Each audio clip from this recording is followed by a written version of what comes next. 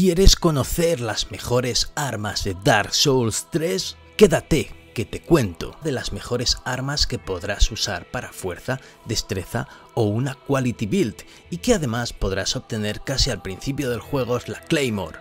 Todo un clásico de la saga Souls y muy querida también por los veteranos, es un espadón versátil con uno de los mejores weapon art del juego, con estocada y barrido frontal con tajo ascendente.